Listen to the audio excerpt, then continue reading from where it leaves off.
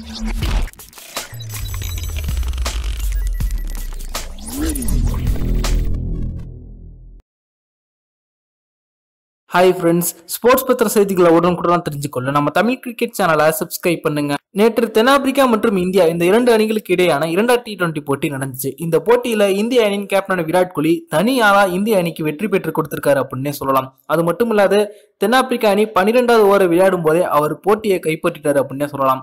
அது பத்தின முழுமையான விவரத்தை பார்ப்போம். தற்போது இந்தியாவுக்கு சுற்றுப்பயணம் வந்திருக்கும் தென்னாப்பிரிக்கா அணியில பாத்தீங்கன்னா ரொம்பவும் அனுபவம் வாய்ந்த மற்றும் அதிரடியான வீரர்கள் யாருமே கிடையாது. அந்த அணியின் கேப்டன் டிகாக் மட்டும் தான் தற்போது ஒரு அதிரடியான வீரராக இருக்காரு. அந்த அணியின் சீனியர் வீரர்களாக இருந்த ஏபிடி வில்லியஸ் அம்லா போன்ற வீரர்கள் ஓய்வு பெற்றுட்டாங்க. அதே போல டூப்ளசிஸ்க்கு தற்போது ஓய்வு வழங்கப்பட்டிருக்கு. டேவிட் மில்லரும் ஒரு சரியான ஃபார்ம்ல இல்ல.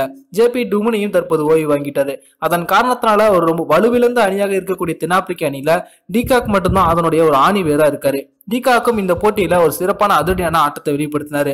ஆரம்பத்துல இருந்தே பவுண்டரிகளை விளாசி வந்துகிட்டு இருந்த டிகாக் பனிரெண்டாவது ஓவர்ல விராட் கோலியோட அபாரமான ஃபீல்டிங் மூலமா வெளியேற்றப்பட்டாரு பனிரெண்டாவது ஓவரை நவதீப் சைனி வீசினாரு அதற்கு முன்னாடி தான் நவதீப் சைனி ஓவர்ல அவர் ஹாட்ரிக் பவுண்டரி விளாசினார் அப்படிங்கிறது குறிப்பிடத்தக்கது. இருந்தாலும் விராட் கோலி அவரை நம்பி அவர் கையில பாலை கொடுத்தாரு. அந்த ஓவர்ல இரண்டாவது பாலை பாத்தீங்கன்னா டிகாக் சைனியோட பந்து வச்சு அடிக்கும் போது அது மிட் ஆஃப்ல நின்ற கோலிக்கு கொஞ்சம் தூரத்துல போய் விழுந்துச்சு. இருந்தாலும் விராட் கோலி உடனே ஓடி போய் பாஞ்சு அதை ஒத்த கையால டைவ் அடிச்சு பிடிச்சிட்டாரு. இதன் மூலமா அபாரமான முறையில டிகாக் வெளியேற்றப்பட்டாரு. கண்டிப்பா விராட் கோலி மட்டும் அந்த கேட்சை பிடிக்காம இருந்தாங்க அப்படின்னா அவங்களுடைய ஸ்கோர் நூத்தி எண்பதை தாண்டி இருக்கும் எளிதான ஸ்கோர்ல இருந்த காரணத்தால தான் இந்திய அணி ரொம்பவே பிரஷர் இல்லாம ஈஸியா வெற்றி பெற்றாங்க. விராட் கோலியோட இந்த ஒற்றை கையில பிடித்த அபாரமான கேட்ச் தற்போது வீடியோவா சமூக வலைத்தளங்கள்ல வைரல் ஆகி வந்துட்டு இருக்கு. அதே போல இந்த போட்டியில விராட் கோலி தனியாளா இருந்து எழுபத்தி இரண்டு ரன்களை விளாசி இந்திய அணிக்கு வெற்றி பெற்று கொடுத்து ஆட்டநாயகன் விருதையும் பெற்றார் அப்படிங்கிறது குறிப்பிடத்தக்கது. பேட்டிங் மட்டுமல்லாது ஃபீல்டிங்லையும் ஒரு முக்கிய பங்காற்றி இந்திய அணிக்கு ஒரு ஆணிவரா இருந்திருக்காரு விராட் கோலி. இந்த வீடியோ உங்களுக்கு பிடிச்சிருந்து பிடிச்சிருந்துச்சுன்னா லைக் பண்ணுங்க ஷேர் பண்ணுங்க. நன்றி.